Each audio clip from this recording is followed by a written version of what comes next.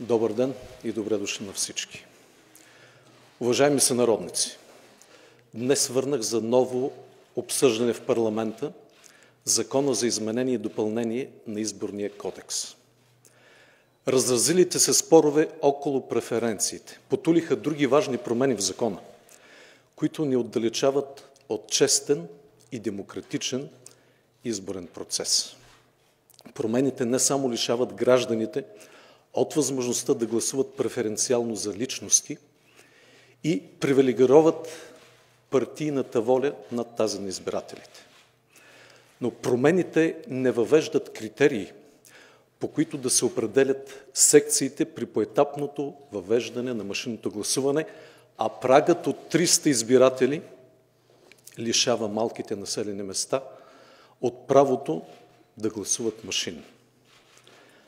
Категорично неприемливо е актове, свързани с изборния процес, да остават необжалваеми.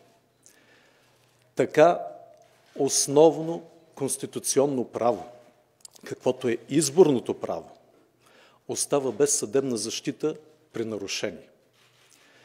Въвеждането на спадащото мнозинство в работата на избирателните комисии ерозира политическия плурализъм, без който няма честни избори.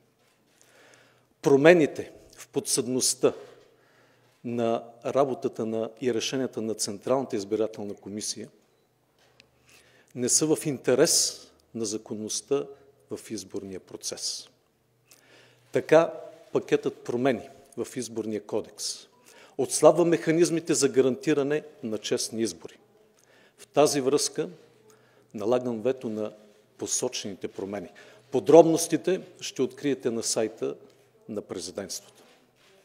Същевременно законодателят за пореден път отлага въвеждането на машинното гласуване, актуализацията на избирателните списъци и въвеждането на видеоконтрол при броенето на бюлетините.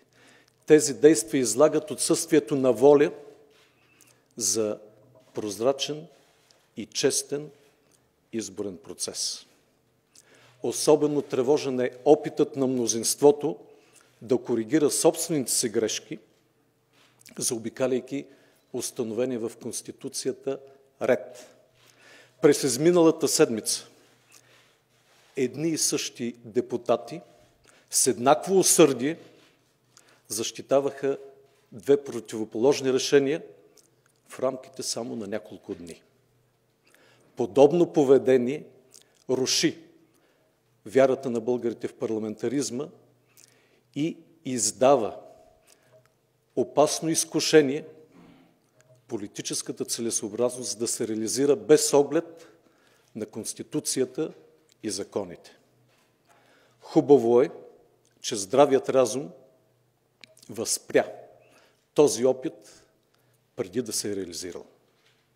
Уважаеми сънародници, честните избори са това, което отличава демокрацията от всички останали форми на управление.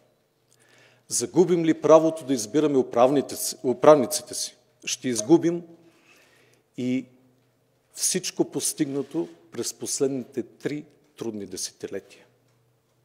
Призовавам опозицията да се завърне в парламента при повторното разглеждане на промените в изборния кодекс.